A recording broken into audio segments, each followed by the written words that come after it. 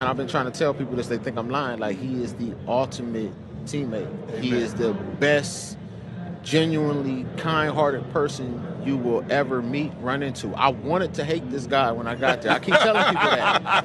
I'm like, I'm going to get here and I'm going to find out they got some BS going on there. Like we had something going on here. They just do a better job of hiding it. You know, all that. And I get there and the first person I meet is Tom. He's like, Oh, I'm glad, you know, happy to have you here and da da da. I'm like, Yeah, you just feed me right now because you got to. So, you know, you sit back and you watch somebody move. You know, you watch how they interact with people. Right. And I see how you interact with me. I see how you interact with a guy that's on a practice squad. I see how you interact with guys that he's played eight, ten years with. And he treats everybody the same. He's and that- consistent. no question. He's very consistent. That's, that's why, why- guys love him. That's why he's Tom Brady. No question. And do you consider him the best? Best quarterback, no question. I will not give him athlete. I will not No, no, give him no.